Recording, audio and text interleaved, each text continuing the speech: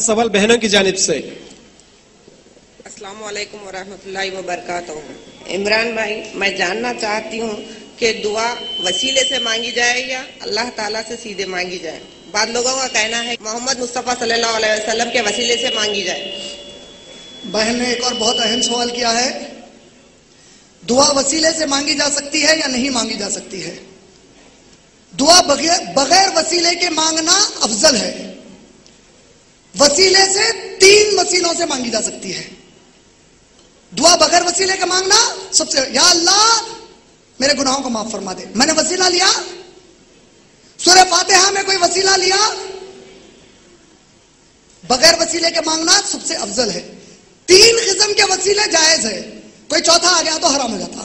وہ تین وسیلے کیا ہے اللہ نے خود کہا، سورہ بنی اسرائیل سورہ نمبر سترہ کی آیت نمبر ایک سو دس میں کہا خلید اللہ عبید الرحمان ایما تدعو فلہ الاسماء الحسنہ. تم اسے اللہ کہہ کر پکارو یا رحمان کہہ کر پکارو. تمام اچھے نام صرف. تو اگر اب میں وسیلے سے مانگنا چاہتا ہوں تو میں کہوں گا، اے اللہ، تو غفور الرحیم ہے، میری مغفرت کر اور مجھ پر رحم کر. یعنی میں اللہ کے صفات اور اس کے ناموں کا وسیلہ لے کر مانگ سکتا ہوں. یہ ایک.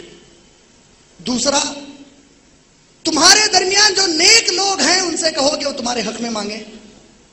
میں نے کہا، عمر رضی اللہ تعالیٰ نے بخاری میں ابن عباس سے کہا، آپ نبی کے چچازاد بھائی ہیں، آپ بڑے نیک ہیں، میں میں آپ کو اپنے سے بہتر سمجھتا ہوں، مانگیے، میں بھی مانگتا ہوں۔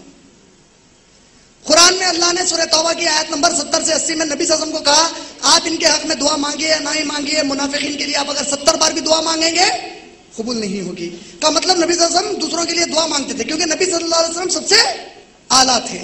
ایک نابینا صحابی نبی صلی اللہ علیہ وسلم کے پاس آتے ہیں ترمیزی کی روایت کہا اللہ کے نبی، میری آنکھیں چلی گئی۔ آپ اللہ سے کہیے کہ مجھے آنکھیں مل جائیں۔ نبی صلی اللہ علیہ وسلم نے فرمایا، تیری آنکھیں اگر ویسی رہتی ہے، صبر کر لے، تجھے زیادہ اجر ہے۔ کہا، مجھ سے صبر نہیں ہوتا۔ اللہ کے نبی نے کہا، ٹھیک ہے، میں مانگتا ہوں، تو بھی مانگ۔